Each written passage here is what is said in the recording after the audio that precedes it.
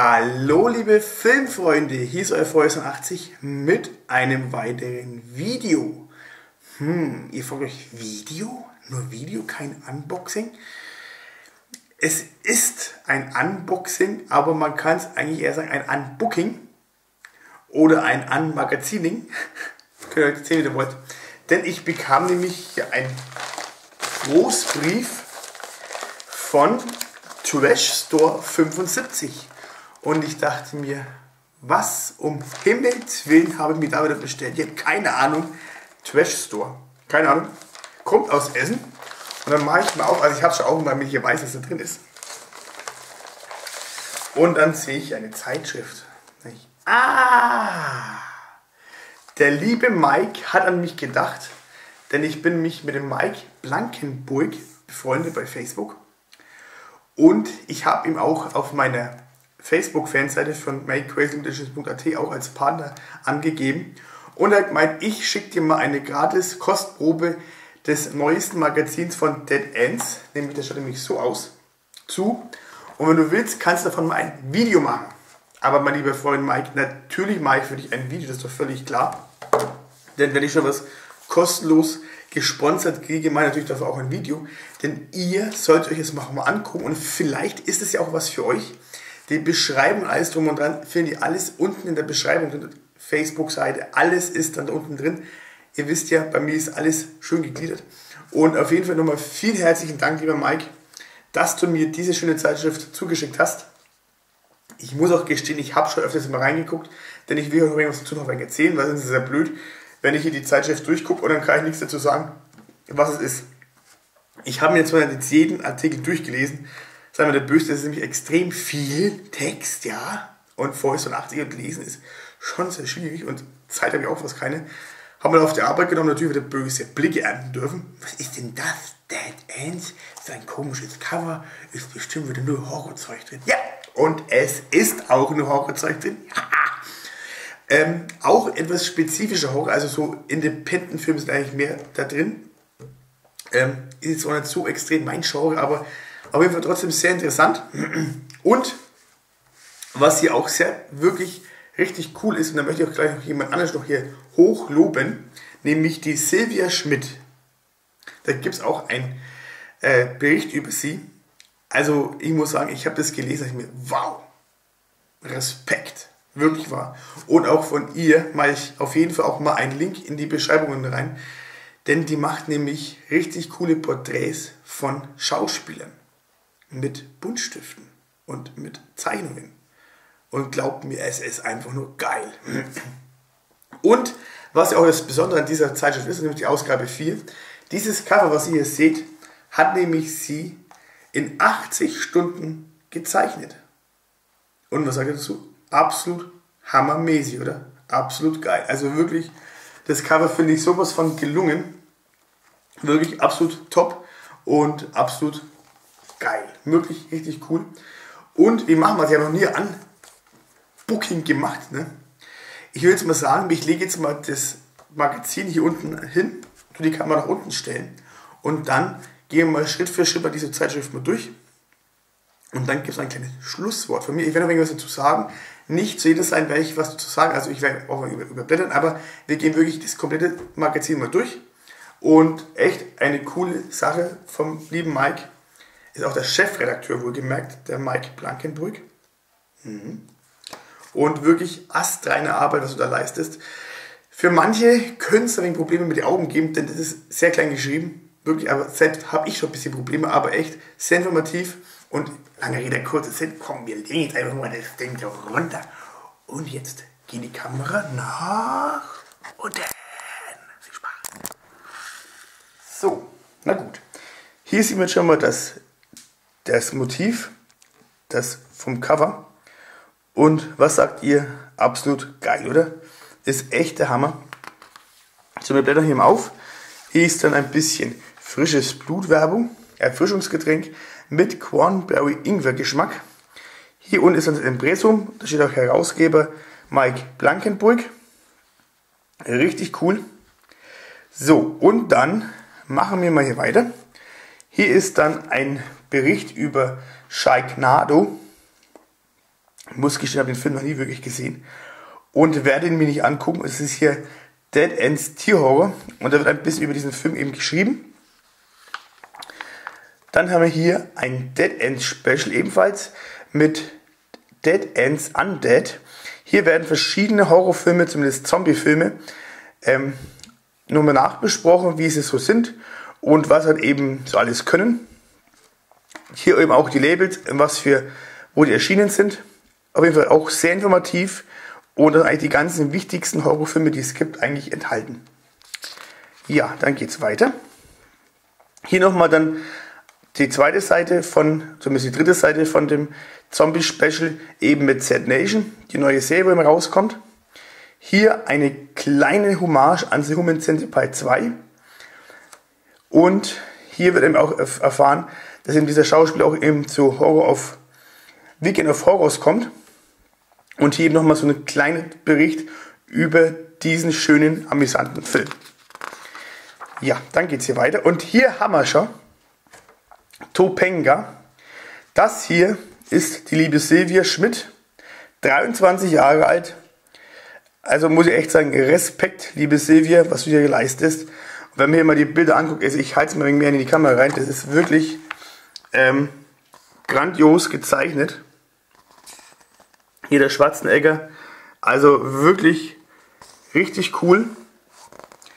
Und auf jeden Fall, ich tue auf jeden Fall die Beschreibung unten reinmachen von ihrer Facebook-Seite, denn das ist wirklich richtig cool und wenn es nicht so extrem teuer ist, würde ich mir sogar so ein Bild sogar wirklich aufhängen. Ne? Also echt hammer, hammermäßig geil.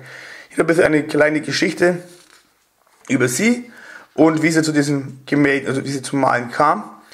Könnt ihr euch dann gerne mal durchlesen, wenn ihr es gekauft habt, dieses Magazin. Ja, hier eben Secrecy, Schauspieler Mike, Maika Metz über seine Rolle und seine Erfahrungen am Set. Der Film sagt mir leider gar nichts. Ähm, ja, ich denke mal, es wird so ein Independent-Film sein. Und hier geht es dann weiter. Dead Ends in Kürze. Hier werden eben verschiedene Filme halt eben mal kurz beschrieben. Dead Ends im Untergrund. Ebenfalls so eine kleine Kurzbeschreibung über verschiedene Serien. Ja, hier gibt es dann einen kleinen Dead Ends Verriss über den Film Kartoffelsalat. Ähm, ja, über den Film habe ich eigentlich nur Schlechtes gehört. Ähm, ja, Lasernippel sowie geriebenes Nashornpulver und andere Absurditäten. Ohrenschmaus, also ich denke mal, hier ist so ein kleines äh, Hörspiel, Gruselhörspiel Comedy. Dann haben wir eine Querseite, Dead Ends Made in Europe. Hier eben verschiedene Filme, die wahrscheinlich in Europa gedreht worden sind. Gehen wir wieder zurück. Also ihr seht schon auch, die Schrift ist wirklich sehr klein, also man kann es trotzdem sehr gut lesen. Wirklich richtig cool und auf jeden Fall ein Blick wert. Hier eben ein Dead Ends in Kreuzerhöhe. Hier wird eben der Kai E. Bogatski äh, äh, interviewt. Muss gestehen, ich kenne leider diesen Kai E. Bogatski leider nicht. Das geht hier eben weiter. Und hier auch noch mal dann die letzte Seite noch von dem Interview. Hier noch ein paar ja, Portittchen, Hot Dreams, eine durchgedrehte Zeitreise zurück in die annalen teutonischen Balzlustspiele. Ja, ähm, okay. Gut. Wir machen mal weiter. Ne? Hier gibt es eben Dead Ends in Action. Hier werden eben verschiedene Actionfilme beschrieben. Fast and Furious 7, Skin Trade mit Dolph Lundgren und American Heist mit dem lieben Adrian Brody. Und hier eben dann ein noch einmal in Action, wo halt eben die Filmkunstform von The Raid und von The Target, also von den asiatischen Action-Highlights, besprochen wird. Hier eben noch weitere Filmchen.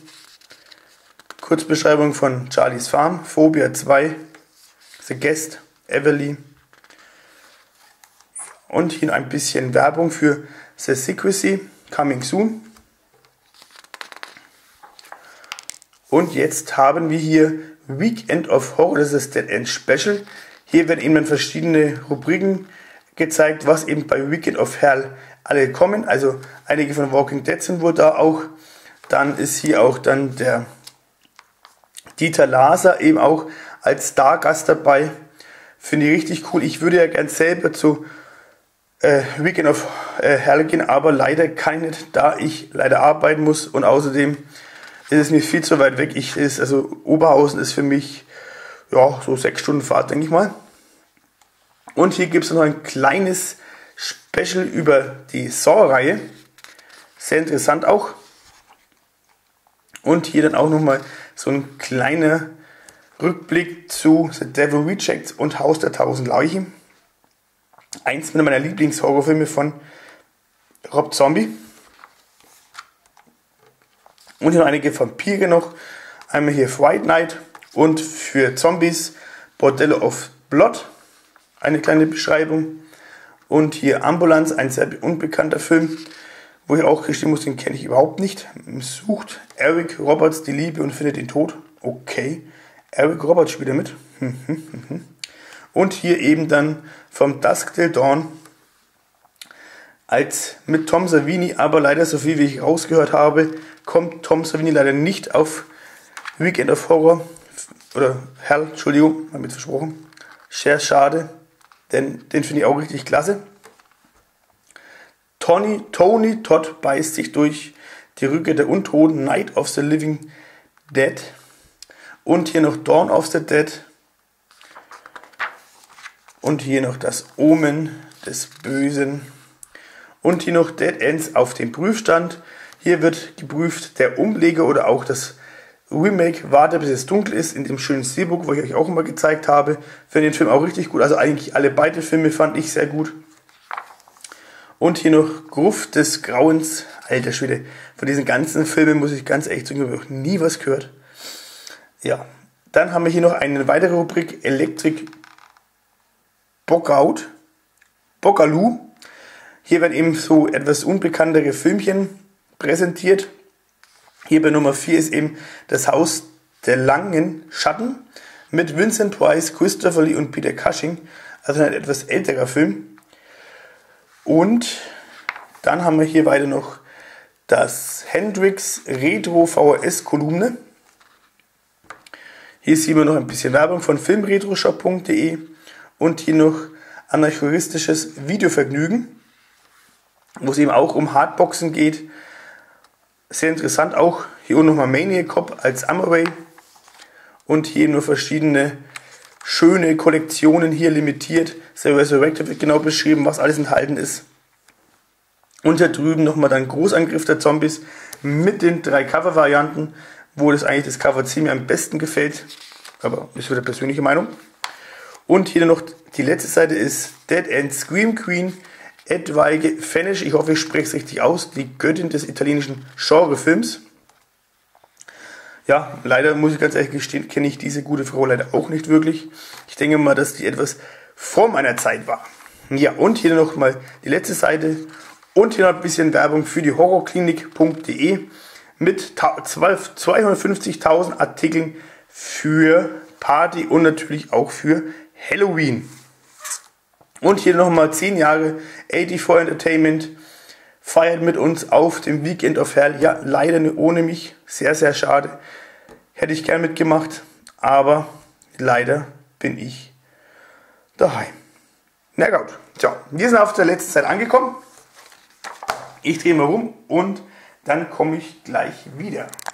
Ja, liebe Filmfreunde, ich hoffe, ich habe euch die, das Marketing ein bisschen schmackhaft gemacht, denn es ist wirklich sehr interessant, wirklich sehr viel Text und wirklich auch sehr viel Hintergrundinformation über verschiedene Filme.